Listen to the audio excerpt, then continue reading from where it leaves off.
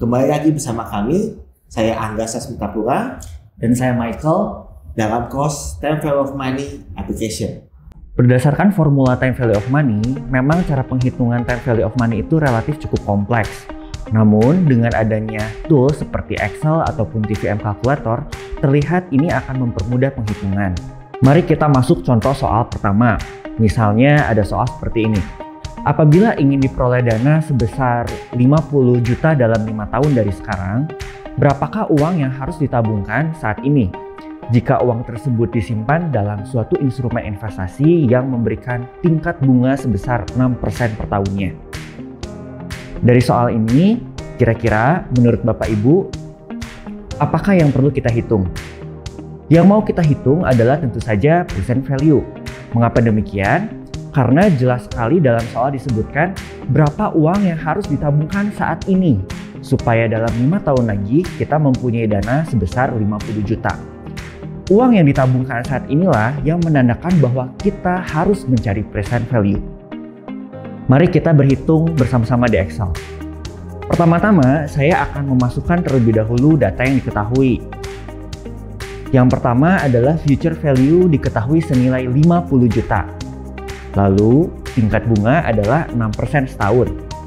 Periode adalah 5 tahun. Untuk menghitung present value, kita dapat menggunakan formula sama dengan PV dalam kurung rate. Rate ini adalah tingkat suku bunga yang mana dalam soal ini angkanya adalah 6%. Ini tergantung settingan Excel pada komputer Bapak Ibu ya. Ada juga yang menggunakan titik koma, ada juga yang menggunakan koma. N adalah jumlah periode. Kita memasukkan angka 5 karena kita akan menabung selama 5 tahun. Sedangkan PMT, PMT ini akan diisi untuk pola anuitas. Kita telah membahas secara mendalam mengenai konsep anuitas pada konten sebelumnya. Sederhananya, anuitas itu terjadi ketika adanya arus kas dengan nominal yang sama yang terjadi secara terus-menerus lebih dari satu periode. Arus kas ini bisa merupakan cash inflow ataupun cash outflow. Dalam soal ini, tidak ada arus kas yang dimaksud, sehingga bukan merupakan anuitas. Dengan demikian, PMT dapat kita kosongkan saja. FV. FV ini merupakan future value. Di soal ini, nominal future value adalah 50 juta. Sedangkan type, type hanya diisi untuk yang berjenis annuity. Apabila arus cash annuity terjadi pada akhir periode, maka kita isikan saja 0. Namun, apabila cash flow terjadi pada awal periode, kita isikan angka 1. Untuk soal ini, kita bisa kosongkan saja karena bukan merupakan annuity. Lalu, kita akhiri dengan tutup kurung. Di sini, kita dapat melihat hasil present value adalah negatif 37.362.909 perak. Jangan heran ketika kita mendapatkan hasil negatif. Hasil negatif menunjukkan bahwa angka tersebut merupakan cash outflow. Jadi, konteks pada soal ini adalah kita harus mengeluarkan terlebih dahulu sejumlah dana saat ini sebesar 37.362.909 perak tadi. Yang kemudian ketika ditabungkan sehingga pada akhir tahun kelima kita akan memperoleh dana sebesar 50 juta. Dengan soal yang sama, sekarang kita akan mencoba menghitung dengan aplikasi TVM Calculator. Ini adalah tampilan TVM Calculator. Bapak Ibu dapat melihat pengenalan aplikasi TVM Calculator pada konten sebelumnya. Mari kita lihat satu persatu. Dimulai dari field present value. Untuk present value, kita kosongkan saja karena justru field inilah yang akan kita cari. Untuk payment, ini seperti fitur PMT pada Excel. Pada soal ini kita kosongkan saja juga karena bukan merupakan annuity. Kemudian future value. Future value kita isikan sebesar 50 juta. Lalu data berikutnya adalah annual rate. Kita masukkan angka 6. Bapak Ibu tidak perlu memasukkan simbol persentasenya karena pada field ini sudah otomatis berupa persentase. Selanjutnya untuk period kita isikan angka 5 ya, sesuai dengan jumlah tahunnya. Untuk compounding, pastikan kita memilih annually. Karena dalam soal ini kita asumsikan bahwa penghitungannya hanya satu tahun sekali. Kemudian untuk field mode, mode ini seperti feature type pada Excel, di mana kita akan memilih opsi N apabila arus cash annuity terjadi pada akhir periode. Sedangkan untuk opsi beginning akan dipilih ketika arus cashnya terjadi pada awal periode. Nah, oleh karena soal ini bukanlah annuity, opsi apa pun yang kita pilih tidak akan berpengaruh pada hasil hitungan. Yang terakhir adalah field decimal. Pada field decimal ini, Bapak Ibu dapat memilih jawaban akhir yang ingin ditampilkan. Misalnya, apakah ingin desimal berapa digit, apakah dua angka di belakang koma, tiga angka di belakang koma, dan seterusnya. Setelah memasukkan semua data ini, kemudian kita dapat memilih tombol PV yang berwarna hijau yang letaknya ada di atas. Tombol PV kita pilih karena kita hendak menghitung present value dari angka-angka yang telah kita masukkan sebelumnya. Hasilnya akan keluar angka sebesar negatif 37.362.909 perak. Angka ini tentu saja sama ya dengan angka yang ada hasil hitungannya pada Excel. Tentunya apabila Bapak Ibu menghitung secara manual dengan menggunakan formula matematis yang telah kita bahas pada konten time value of money concept, maka angka yang sama pun akan Bapak Ibu peroleh. Serupa dengan Excel, angka negatif menunjukkan cash outflow.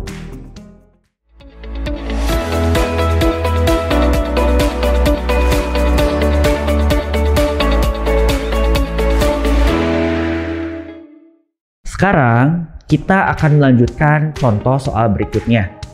Misalnya, apabila ada uang sebesar 8 juta rupiah yang ditabungkan pada deposito 3 bulanan dengan tingkat bunga 6% per tahun. Dan setelah jatuh tempo, deposito tersebut diperpanjang secara terus-menerus selama 3 tahun. Pertanyaannya, berapakah nilai dana pada akhir tahun ketiga? Kalau soal sebelumnya kita menghitung present value untuk dapat menghasilkan suatu nominal future value, sekarang pada soal ini kita justru ingin menghitung future value-nya dari dana yang sebesar jumlah tertentu, yaitu dalam soal ini adalah senilai 8 juta rupiah. Perbedaan berikutnya, kalau pada soal pertama kita asumsikan pembungaan dilakukan setahun sekali, pada soal ini terdapat informasi bahwa dana 8 juta ditabungkan pada deposito 3 bulanan. Setelah deposito tersebut jatuh tempo, maka akan diperpanjang secara terus-menerus. Dari informasi ini, kita dapat menyimpulkan bahwa terdapat empat kali pembungaan dalam satu tahun, yaitu periode tiga bulan pertama, periode tiga bulan kedua, periode tiga bulan ketiga, dan periode tiga bulan keempat. Karena kita menabung selama satu tahun, maka secara total akan terdapat 12 periode pembungaan. Untuk menghitung future value, kita bisa gunakan formula sama dengan FV. Sebenarnya, rumus future value ini identik dengan formula present value yang sudah kita bahas pada contoh soal nomor satu. Sama seperti soal pada nomor satu, kita masukkan terlebih dahulu rate-nya. Rate di sini kita masukkan 6% dibagi 4. Mengapa dibagi 4? Karena rate 6% berlaku untuk satu tahun. Sedangkan dalam soal ini pembungaan terjadi selama tiga bulan. Untuk mengetahui tingkat bunga selama tiga bulan, ya kita tinggal bagi saja angka 6% tersebut dengan 4. Sehingga kita dapat memperoleh tingkat bunga untuk periode tiga bulanan sebesar 1,5%. Kemudian, N per kita masukkan angka 3 dikali 4. Mengapa? Tiga itu menunjukkan kita menabung selama tiga tahun. Lalu angka 4 itu muncul dari mana? Nah, di soal ini karena pembungaan dilakukan setiap tiga bulan sekali, maka dalam satu tahun terdapat empat kali periode pembungaan. Nah, inilah mengapa muncul angka 4 tersebut. Kalau kita kalikan angka 3 dengan 4, maka akan memperoleh angka 12 yang dalam soal ini menunjukkan secara total adanya 12 kali periode pembungaan.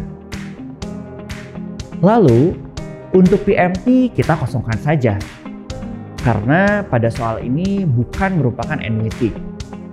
Selanjutnya untuk PV kita masukkan angka 8 juta rupiah.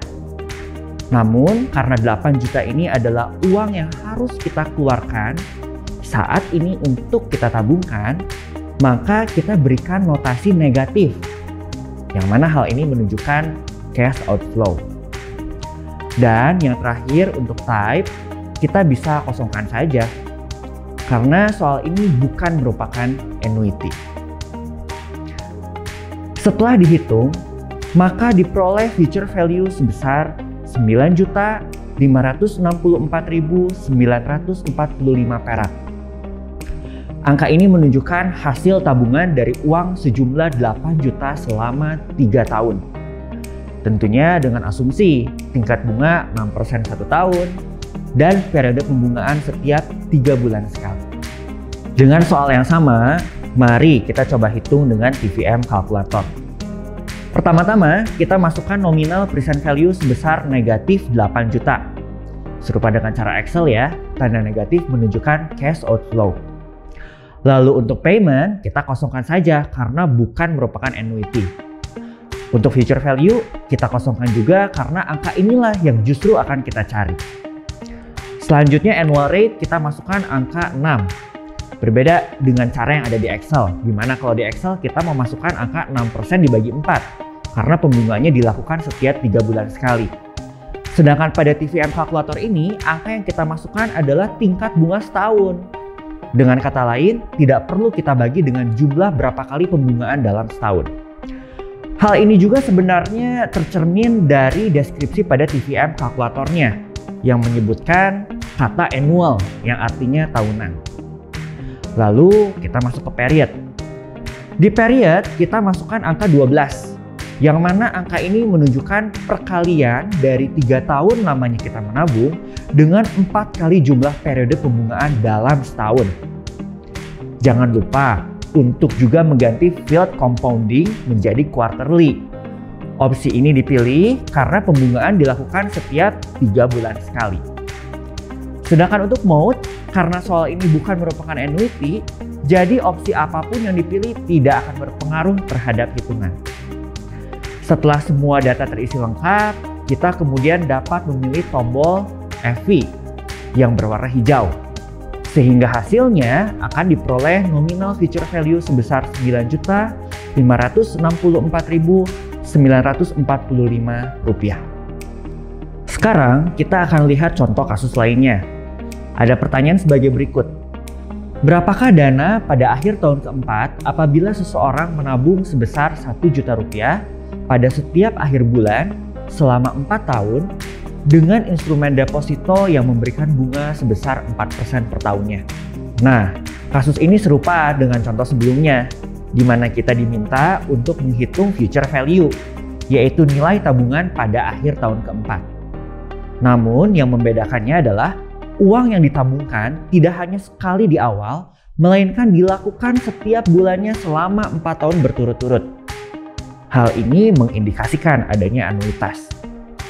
Untuk menghitung future value, kita gunakan formula sama dengan FV. Untuk rate, kita masukkan 4% dibagi 12. Mengapa dibagi 12? Karena cash outflow terjadi setiap bulannya. Dalam satu tahun ada 12 bulan, sehingga rate tahunan tersebut haruslah kita bagi dengan angka 12. Kemudian untuk per kita masukkan 4 dikali 12. 4 itu menunjukkan jumlah tahun di mana kita menabung. Lalu 12 menunjukkan frekuensi kita menabung selama setahun. Kemudian PMT, kita masukkan negatif 1 juta. Negatif 1 juta karena kita mengeluarkan uang untuk ditabungkan setiap bulannya ke bank. Selanjutnya PV, kita kosongkan saja karena tidak ada dana awal yang kita tabungkan. Apabila kita ingat kembali contoh soal sebelumnya, kasus ini berbeda dengan yang sebelumnya. Karena kalau di soal sebelumnya, yang kita masukkan justru angka PV-nya yang sebesar 8 juta rupiah. Hal ini terjadi karena kita hanya menabung di awal saja, tanpa menabung lagi secara periodik di masa-masa selanjutnya. Sedangkan pada kasus ini kita tidak memiliki dana awal. Melainkan kita terus menabung secara berkala sebesar 1 juta rupiah setiap periodenya. Dengan demikian, yang kita isi bukanlah PV, melainkan PMT-nya saja. Nah, mungkin Bapak Ibu sempat berpikir, bisakah dana 1 juta yang ditabungkan di bulan pertama dianggap sebagai PV? Nah, jawabannya kurang tepat. Karena nominal 1 juta sudah diperhitungkan dalam PMT, sehingga apabila kita masukkan akan mengakibatkan double counting atau penghitungan ganda. Nah, nanti pada contoh kasus ketujuh, barulah kita akan melihat adanya PV dan PMT yang terjadi secara bersama-sama. Kita lanjutkan dengan type. Untuk type, karena ini adalah kasus annuity, maka ini akan menjadi hal yang perlu diperhatikan. Bapak Ibu bisa isikan angka 0 apabila arus kas sebesar 1 juta kita tabungkan pada akhir periode. Dalam kasus ini, setiap akhir bulan. Sedangkan apabila menabung dilakukan setiap awal periode, maka isikanlah angka 1. Oleh karena pada kasus ini terlihat penabungan itu dilakukan setiap akhir bulan, maka kita isikanlah type ini dengan angka 0. Maka akan diperoleh hasil penghitungan yang sebesar 51.959.601 rupiah. Nah, sekarang kita coba ke TVM kalkulatornya. Untuk nominal present value kita kosongkan karena tidak ada dana awal. Selanjutnya kita masukkan angka pada payment sebesar negatif 1 juta. Untuk future value kita kosongkan juga karena angka inilah yang justru akan kita cari. Selanjutnya annual rate. Kita masukkan angka 4 Meskipun penabungan dilakukan sebulan sekali, tetapi angka 4 ini tidak perlu kita bagi dengan 12. Karena parameter pada TVM kalkulator sudah otomatis membaca tingkat bunga tahunan. Untuk settingan periode pembungaan atau jumlah penabungan dalam setahun akan tercover pada field compounding. Lalu kita masuk ke period. Di period ini kita masukkan angka 48 yang mana angka ini menunjukkan perkalian dari 4 tahun lamanya kita menabung dengan 12 kali banyaknya jumlah penabungan dalam satu tahun. Nah, di sinilah kita akan memilih field compounding sesuai dengan kasusnya. Dalam hal ini, opsi yang kita pilih adalah monthly karena proses penabungan dilakukan setiap bulan. Selanjutnya untuk mode kita pilih M. Karena di kasus disampaikan bahwa penabungan dilakukan setiap akhir periode. Setelah semua data terisi lengkap, kita kemudian dapat memilih tombol FV. Sehingga hasilnya akan diperoleh nominal future value sebesar Rp51.959.601. Baik, selanjutnya kita masuk ke kasus keempat. Kasus ini kalau kita perhatikan menyerupai dengan kasus nomor 3. Hanya saja letak perbedaannya kalau pada kasus nomor 3 proses penabungan dilakukan setiap akhir periode. Sedangkan kalau kita perhatikan pada kasus ini, di sini terdapat keterangan bahwa proses penabungan setiap bulannya itu dimulai dari saat ini. Yang mengartikan penabungan ini dilakukan pada setiap awal periode. Baik, Mari kita coba hitung dengan Excel. Kita bisa langsung copy paste formula yang telah kita buat pada kasus nomor 3 dengan sedikit modifikasi. Modifikasi ini kita lakukan pada type. Kalau pada sebelumnya di type ini kita masukkan dengan angka 0, pada kasus ini karena penabungan dilakukan setiap awal periode, maka kita ganti type-nya dengan angka 1. Hasilnya diperoleh angka future value sebesar Rp52.132.800. Berbeda dengan hasil pada kasus ketiga, hasil pada kasus ini menunjukkan angka yang lebih besar. Arus kas pada setiap awal periode akan selalu menghasilkan future value yang lebih besar apabila dibandingkan dengan arus kas yang dilakukan pada setiap akhir periode. Hal ini terjadi karena proses pembungaan sudah dilakukan lebih dini, yaitu sejak awal periode. Sekarang kita lihat penghitungannya pada TVM kalkulator. Ini adalah tampilan penghitungan kasus soal nomor 3. Nah, di sini kita hanya perlu melakukan penyesuaian pada field mode. Yang sebelumnya kita pilih N, sekarang kita ganti menjadi beginning. Lalu kita pilih kembali tombol yang akan kita hitung, yaitu future value. Maka hasil penghitungannya akan langsung menyesuaikan dan menghasilkan angka 52.132.800 rupiah.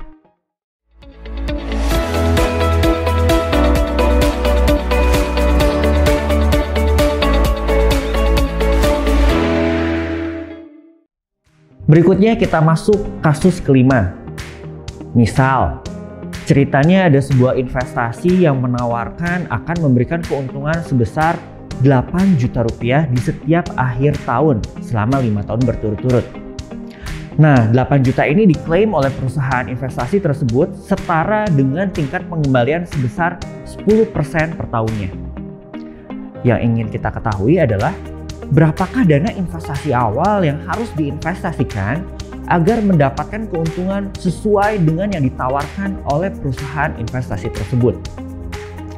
Oleh karena yang ditanyakan adalah dana investasi awal, artinya kita akan menghitung PV atau present value-nya. Baik, marilah kita coba hitung pada Excel ini. Kita gunakan formula sama dengan PV, lalu rate-nya kita masukkan angka 10%, N per-nya 5, kemudian PMT-nya perlu diisi karena soal ini merupakan anuitas yang mana akan kita isikan dengan angka 8 juta rupiah. Yang kita masukkan angka positif ya. Mengapa positif? Karena ini merupakan cash inflow berupa keuntungan yang rencananya akan didapatkan oleh kita sebagai investor. Selanjutnya untuk FV-nya kita tidak perlu isikan. Lalu untuk type kita masukkan 0. Karena disampaikan bahwa cash inflow berupa keuntungan diperoleh pada setiap akhir periode di dalam soal ini adalah di setiap akhir tahun. Setelah kita memasukkan semuanya, maka hasilnya akan kita peroleh sebesar negatif 30.326.294 rupiah. Angka negatif menunjukkan bahwa angka tersebut adalah sejumlah uang yang harus kita keluarkan saat ini demi mendapatkan keuntungan berupa 8 juta rupiah setiap tahunnya selama lima tahun berturut-turut. Selanjutnya, mari kita hitung pada TVM kalkulator. Kita masukkan angka payment sebesar 8 juta, lalu annual rate-nya 10, dan periodenya 5. Untuk compounding, kita pilih annually, kemudian mode-nya kita pilih M. Setelah itu, kita pilih tombol PV dan akan keluar angka senilai negatif 30 juta 326.294 rupiah. Berikutnya kita masuk pada kasus ke-6. Kalau pada contoh-contoh sebelumnya kita menghitung present value atau future value-nya, nah pada kasus ke-6 ini kita akan coba menghitung arus kasnya atau PMT-nya. Contoh, ada pertanyaan sebagai berikut. Berapakah bagian penghasilan yang harus disisihkan dan didepositokan setiap akhir bulannya untuk memperoleh nilai tabungan sebesar 30 juta rupiah pada akhir tahun ketiga? Jika kita ketahui suku bunga deposito misalnya 4%. Mari kita hitung bersama. Untuk menghitung arus kas, kita bisa menggunakan formula sama dengan PMT Lalu kita masukkan rate sebesar 4% dibagi 12. Mengapa dibagi 12? Karena cash outflow terjadi setiap bulannya. Dalam satu tahun ada 12 bulan. Sehingga rate tahunan tersebut haruslah kita bagi dengan angka 12. Lalu untuk NPER, kita masukkan 3 dikali 12. Yang mana 3 karena selama 3 tahun dan 12 karena dalam satu tahun cash outflow yang terjadi dilakukan setiap bulannya. Kemudian PV kita kosongkan. Lalu FV kita isikan dengan angka 30 juta. 30 juta ini merupakan nilai tabungan pada akhir tahun ketiga yang harus berhasil dikumpulkan. Yang terakhir adalah type. Kita isikan dengan angka 0 karena cash outflow akan dilakukan pada setiap akhir periode. Dalam hal ini adalah setiap akhir bulan. Nah, dari angka-angka yang telah kita masukkan tersebut, muncullah angka sebesar negatif Rp785.720. Angka negatif menunjukkan cash outflow, di mana kita harus menyisikan penghasilan kita setiap bulannya untuk didepositokan. Selanjutnya, mari kita hitung pada TVM kalkulator.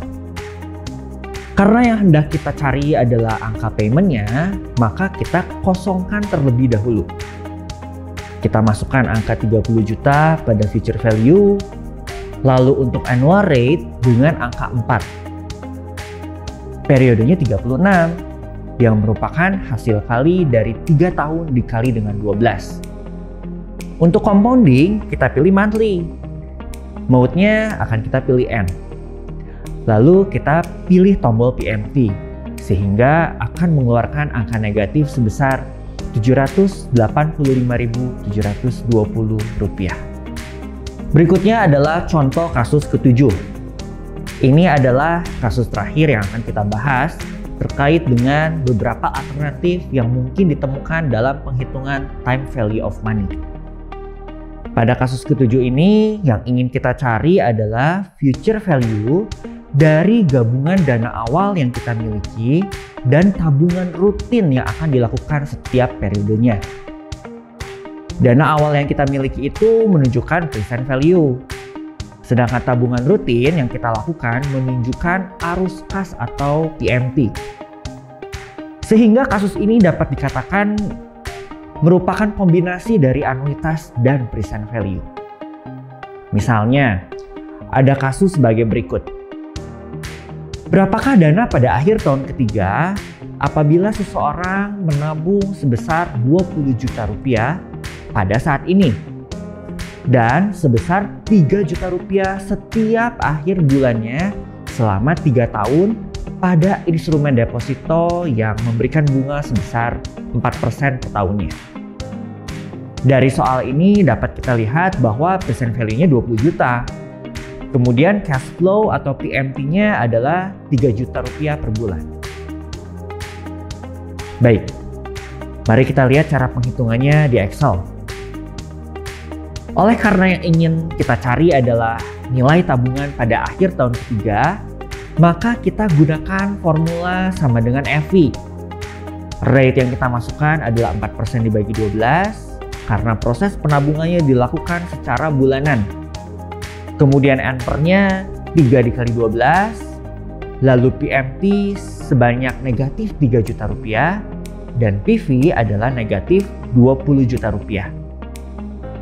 Baik PMT maupun PV kita isikan dengan notasi negatif karena merupakan uang yang harus kita keluarkan untuk kemudian kita tabungkan.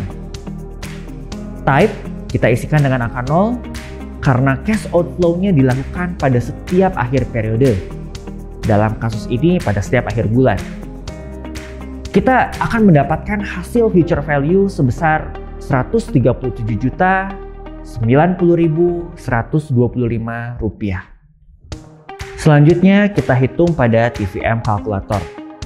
Pertama, kita masukkan angka present value sebesar negatif 20 juta. Kemudian paymentnya sebesar negatif 3 juta. Future value kita kosongkan terlebih dahulu karena inilah yang akan kita cari. Annual rate kita masukkan angka 4, periodenya 36 yang mana merupakan hasil penghitungan dari 3 dikali dengan 12. Untuk compounding kita pilih monthly, lalu mode-nya kita pilih N. Setelah itu kita pilih tombol future value yang pada akhirnya akan menghasilkan angka 137 juta Rp90.125. Kasus ini adalah kasus terakhir yang kita gali. Semoga contoh kasus yang telah kita bahas dapat memperkaya pemahaman Bapak dan Ibu.